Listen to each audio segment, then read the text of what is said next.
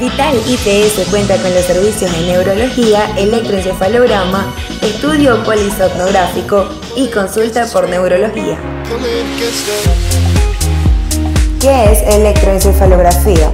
Es una prueba diagnóstica que consiste en el registro de la actividad eléctrica cerebral en condiciones basales de reposo, en vigilia o sueño y durante diversas activaciones, habitualmente hiperapnea y estimulación luminosa intermitente.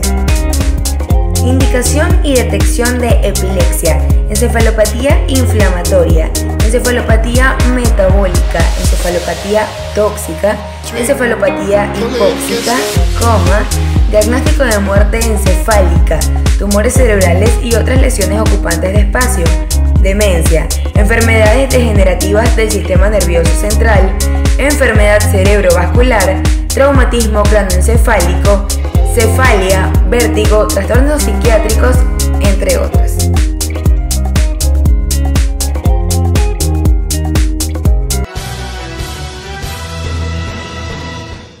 Ministerio de Salud hizo la entrega oficial al Departamento de Arauca de las vacunas de la influencia estacional CEPA Sur 2018. A los municipios del Departamento de Arauca ya fueron enviadas.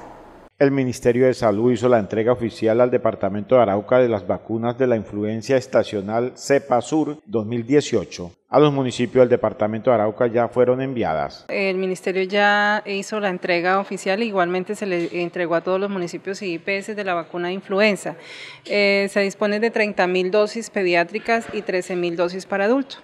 El Ministerio de Salud dio a conocer a quienes se le podrá aplicar el biológico. Bueno, hay que tener en cuenta que tenemos un lineamiento claro del Ministerio de Salud. Eh, la población principal de adultos son las personas mayores de 60 años, las mujeres embarazadas a partir de la semana 14 de gestación, las personas con obesidad mórbida, pacientes inmunocomprometidos, con cáncer, con VIH, eh, pacientes con eh, POD, con asmas, con una serie de enfermedades VIH inmunocomprometidos, son los que tienen derecho a a obtener la vacuna. La funcionaria de la unidad de salud explicó que la vacuna es gratis. La vacuna es totalmente gratis y está disponible en todos los puntos de vacunación del departamento. En Arauca está en la S. Jaime Alvarado y Castilla, Centro de Salud Comuna 3, el Barrio Unión, la IPS Norte de Santander, Corporación y Meditet. Y en los municipios, en todos los hospitales y todos los vacunadores que están en el área extramural, en los barrios veredas, ellos llevan la vacuna, además del puente internacional José Antonio Páez. El biológico previene el gripe NH1 y recomendó su aplicación.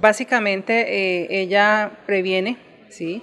de los serotipos o de las gripas producidas por serotipos más agresivos como el H1N1 entre ellos, eh, son las que básicamente previene la vacuna. El departamento de Arauca está preparada para la aplicación y se debe acercar a los puestos autorizados. En ese momento el departamento está preparado, eh, está disponible y el llamado a la comunidad es para que se acerque eh, y si está dentro de la población objeto, que aparte los adultos y los niños de 6 a 23 meses de edad, pueden acercarse a cualquier punto de vacunación. La Unidad Administrativa Especial de Salud intensifica casa a casa en esta región del país sobre esta campaña. Teniendo en cuenta la vacuna básicamente es para época estacional, para esta época de lluvia. Eh, igual se está haciendo, eh, en ese momento estamos haciendo intensificación, que es casa a casa, centros de salud, en barrios y veredas.